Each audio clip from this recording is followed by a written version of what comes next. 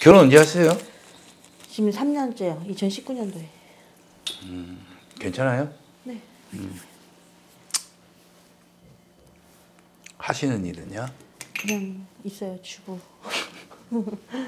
본인 스스로가 답답하게 살고만 음, 그 말 뜻은요 첫 번째 제가 무턱대고 뭐 결혼 생활 괜찮아요라고 한 말은 아니고요 혼자 사는 게 훨씬 본인한테는 더 삶이 더 나은 삶이고 두 번째는 그렇다고 해서 결혼했다고 해서 이혼을 한다거나 박복하다는 말은 아니고요 오히려 혼자 살면서 내가 하고 싶은 거 배우고 돈 벌고 하는 게 가장 좋은 거고 두 번째는 결혼을 하더라도 집에서 있는 것보다는 밖에서 내 일을 가지고 살아가야 되는 사람.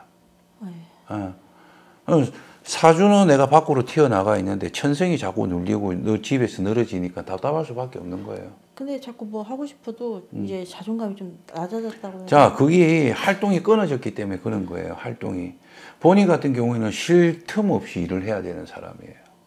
공백이 있으면 안 돼. 우리처럼 가물이 많은 사람이기 때문에요. 집에서 자꾸 늘어지면 우리가 흔히 말해서 본인은 자존감이라지만 지금 상에서 좀 더 있으면 젊은 나이에 우울증 들어와요. 무슨 말인지 알겠죠?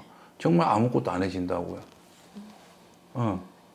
본인이 뭐에 씌여 있고 귀신에 씌여 있고 조상에 감겨 있어 가지고 본인이 그런 게 아니라 본인 스스로 의지가 약해 가지고요. 어. 본인이 이걸 뚫고 나가야 돼요. 사람은 천성대로 사는 거 아니에요. 내 사주대로 살아야 되기 때문에 이렇게 사주를 보러 오는 거거든요. 내 천성대로 산다면 대한민국 사람들 일할 사람이 어디 있어요? 다 집에서 쉬고 싶고 늘어지고 싶고 그렇겠죠. 어. 본인이 박복해서 내가 결혼을 해서 내가 이렇게 막 온몸이 아픈데도 일을 해야 되고 그걸 박복하다 생각하시면 되는 게 아니라 내가 그만큼 밖의 기운이 에너지가 밖의 에너지와 더 맞다는 거예요 기운이 어, 근데 본인은 집에 있으니까는 뭔가 뭔가 내가 크게 몸이 아픈 것도 아니고 크게 뭐 이렇게 뭐 뭐 뭐 날벼락 같은 일이 생기는 것도 아닌데도 하나부터 열까지 뭐가 다 답답하다는 거야. 좀 답답해요. 어, 백날 전보로 댕기면 뭐예요? 어? 무당이 야, 너 나가서 일을 해라. 뭘 해라. 이래도 내가 지금 집에 늘어지가 있는데.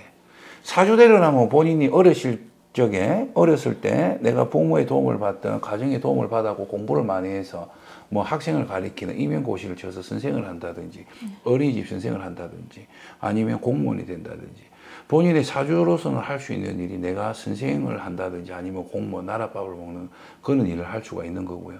그렇지 않고 내가 일반 사기업이라는 거는 직장 생활이라는 거는 누구나 다 할 수는 있지만 한 곳에서 직장 생활 오래는 못 합니다. 그래서 내가 좋아하는 걸 배워가지고 그 기술을 가지고 그 능력을 가지고 나중에는 내 털을 밟고 내 장사를 해야 되는 사람. 본인이 결혼을, 하- 내가 결혼을 안 하고 살았으면 좋다는 이유는 뭐냐면요. 20대 초반부터 내가 기술을 배우든 돈을 벌든 두 가지를 해가지고 내가 30대 중반 되면은 내 걸 차려서 하고 살아가야 되는 사람. 그러면 지금쯤이면 내가 안정되게 내가 행복하게 살아간다는 거야. 근데 본인은 내가 그런 걸 하지 않고 결혼을 함으로써 본인의 운때도 한번 꺾였어요. 꺾이다 보니까 더 늘어지는 거예요. 어. 하지만 아직 늦지가 않았다.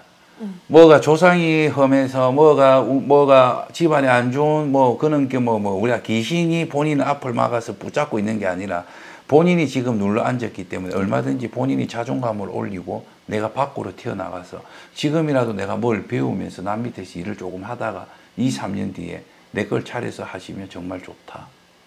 저는 뭘 해야 좋을까요? 사주에 주특기가 없기 때문에 본인 스스로가 관심 가는 걸 배우세요. 무슨 말인가 아시겠죠? 예? 네. 예를 들어 내가 커피에 관심 있고 커피를 좋아한다. 평상시 그럼 커피 기술을 배우고 커피점에서 아르바이트를 하면서 나중에 내가 조그만 커피숍을 하면 되고. 내가 제가 제 빵을 좋아한다면 빵 기술을 배우든 아니면 요리를 좋아하면 요리 기술을 배우든 그런 걸로 내 털을 밟고 장사해야 되는 본인 남편에 기대서 살아가시는 분 아닙니다. 아시겠죠? 남편이 멀쩡하게 있고 멀쩡하게 직장을 다니고 안정된 직업을 가지고 어, 안정된 월급을 가지고 온다고 해도 본인이 집에서도 설치해야 되고 밖에서도 설치해야 되고 사주는 전반적으로 다 앞으로도 막힘없이 어둡지 않고 괜찮은데 본인 스스로가 만든 거예요. 아시겠죠? 우리가 이제 본인 같으신 분 가지고 정신 차리라고 해요. 뭔가 조상이 안 좋아서 뭔가 붙어 있어서 귀신에 씌어서 어, 뭐 귀신병에 걸려서 빙의가 돼서 뭐 이런 거면 무속적으로 우리 무속인이 해결을 해주겠죠. 구스라도 뭘 해서라도 하지만 그게 아니라는 거예요. 본인 천성 자체를 우리 무속인이 고칠 수는 없다는 거예요. 어. 우리가 본인을 위해서 기도를 하면서 마음을 안정시키는 것은 할 수 있으나 실질적으로 몸을 움직이는 건 본인 당사자가 노력을 해야 된다는 거죠. 건강이라든지 이런 거는 신경 쓰실 필요는 없어요. 좀 최근에 많이 아팠어서 어, 자, 그거는 집에 늘어지기 때문에 아픈 어. 거예요. 막 밖에 밖에 기운을 받고 살아가야 되는 사람이 집에 있으면요 몸으로 먼저 쳐요. 어, 어. 아시겠죠? 안 와도 막 개결 막 어. 깜짝 놀랐어. 어, 제 말대로 한번 내가 밖에서 아르바이트든 무슨 일이든 일을 한번 해보세요. 몸이 가벼워지고 머리가 아프지가 않고요. 괜찮아집니다. 본인. 본인이 본인이 스스로가 노력을 하고 고쳐야 되는 거는 무당집에 와서 점으로서 한도 끝도 없이 얘기를 해야 돼요. 아시겠죠? 무당이 이렇게 하고 이렇게 하고 이렇게 움직여야 되는 걸 본인이 몸소 실천을 하면 그건 얼마든지 해결되는 문제고요.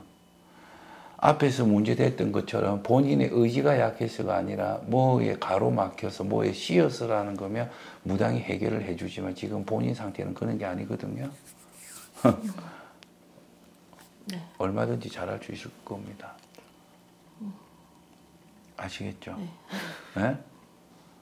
본인의 기운, 어, 본인의 조상들도 이렇게 원력을 주실 수 있는 조상들이 있고 내 자손을 도와주려고 이렇게 와 있는 조상들인데 무기력해진단 말이에요. 어? 자, 내가 아까 전에 본인 뭐라고 했어요? 무당하면 참 잘하겠다.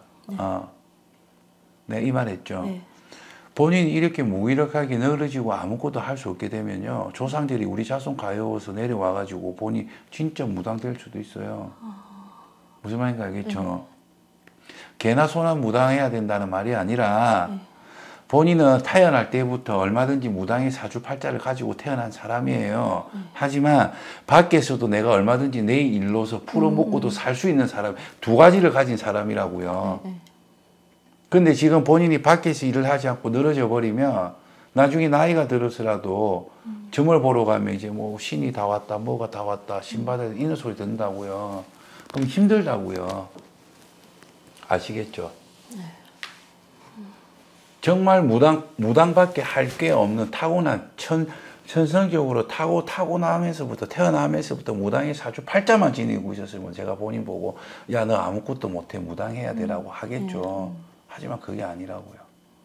앞에 전자, 그 얘기 있잖아요.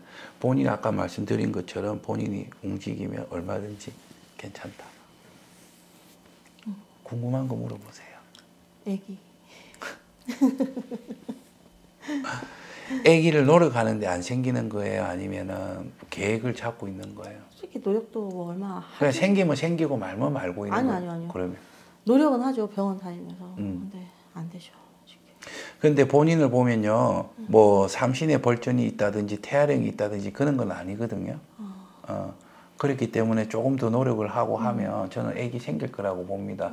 본인한테 무자는 아니에요. 어, 네. 무자 팔자는 아닙니다. 아기 생겨요.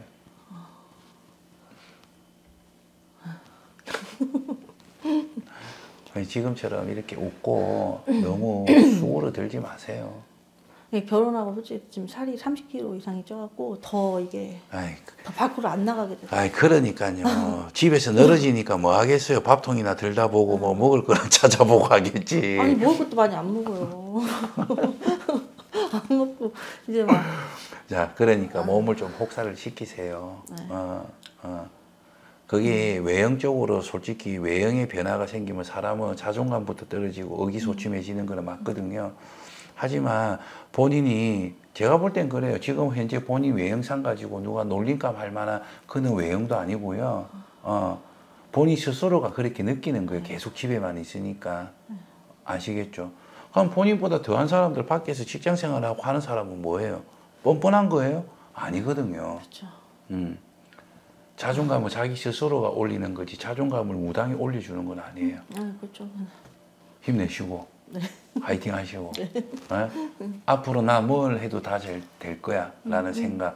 지금 아기를 간절히 가지려고 노력을 하는 만큼 내가 밖에서 뭔가 일을 하려고 뭔가 찾아보려고 뭔가 배워보려고 노력한다면 본인은 정말 다 잘 될 수 있습니다. 어, 한번 더 말하지만 본인 무자팔자 아니니까 아기 가집니다. 올해는 아니겠죠? 무슨 벌점 아니요. 올해 하반기부터는 아마 될 수 있어요. 아, 음. 아시겠죠? 네, 화이팅 하십시오 네, 감사합니다. 네.